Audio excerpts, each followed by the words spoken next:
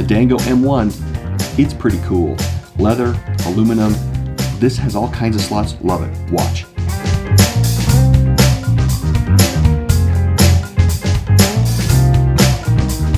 Welcome to Walletopia. Please subscribe, ring the bell, go to walletopia.info to sign up for notifications about new videos and chances to win wallets we review in drawings every other week. Now, let's open up the Dango M1 Maverick wallet.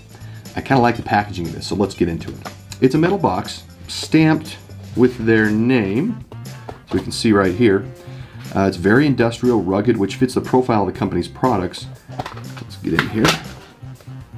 There's instructions.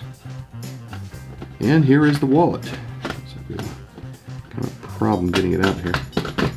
So, yeah, the box interferes a bit here. Hold on. Wow, yeah, it was a little more difficult than I would have expected here. All right.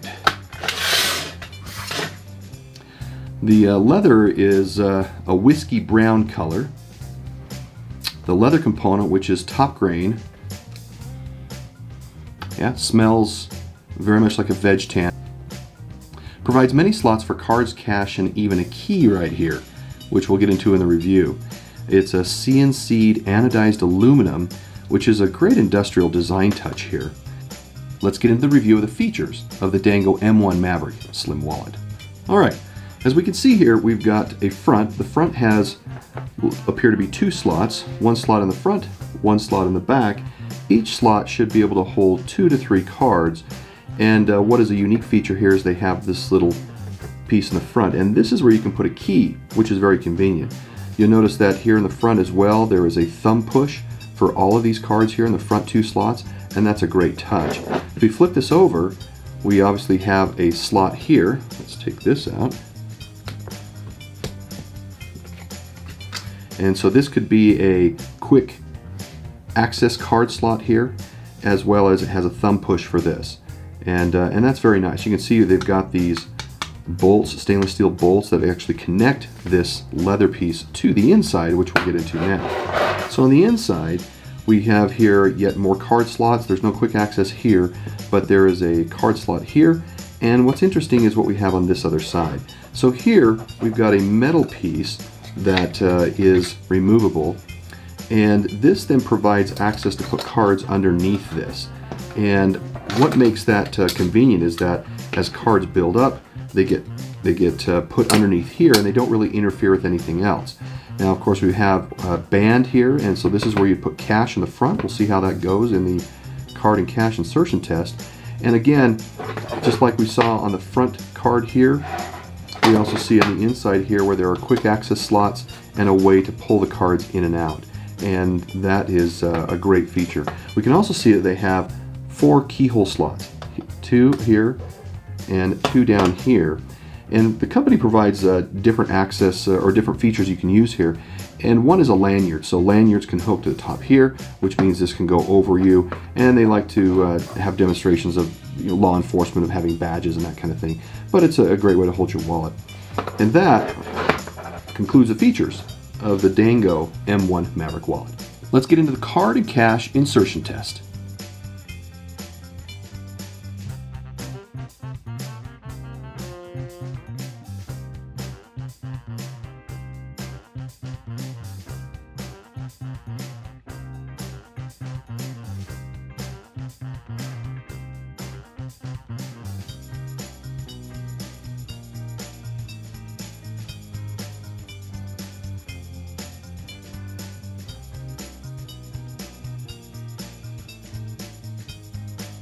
As you can see, we got 14 cards into the various slots, but you'd have to break in the leather a little bit more to get more. The company says that they can hold 14 to 16, so that really is a proper limit and really at its maximum. We put five slips of cash in here, folded over twice, but that left the wallet a little bulky. Now, the quality of this is really good. As mentioned, the aluminum metal is CNC machined. It's anodized in this gray color we see here, which we really like. Uh, it has mil-spec stainless steel bolts that are put here in the back and uh, connected the leather to the aluminum. It really is a nice touch. It's not obtrusive and it, it looks really good. Now the price is $109. That may sound expensive, but this is all made and assembled in the United States. So although it may look like there's a lot of pieces, there really isn't. The manufacturing design was done very well. Not counting the screws in here, there are four separate pieces. So the cost really is about the assembly being done in the, in the United States. If this was done in China, I would probably knock off $20 or so. The usability is good. It provides an easy way to push up the cards in all the slots with the exception of the ID card here in the back. The main card holding location is very easy to access and provides a way of holding all the cards right in here while providing a way to, to hold them down in and not interfere with the cash band up here at the top. Um, and there's really no issue of getting in and out of your pocket. The card measures 3.1 inches by 4.25 inches and is about uh, 0.61 inches. The industrial design provides sophisticated edges on the aluminum, demonstrating a lot of thought that uh, and, and, provides a lot of interest into this. It, it just makes it look cool. Uh, I don't see a lot of customer interaction in places where they sell, especially like on Amazon, so I can't really comment on how well they take care of their customers. But with that, let's now get into the final score of the Dango M1 Maverick. For quality, we're giving it a 4. For price, a 3. Due to it being made in the United States, it qualifies for that pricing.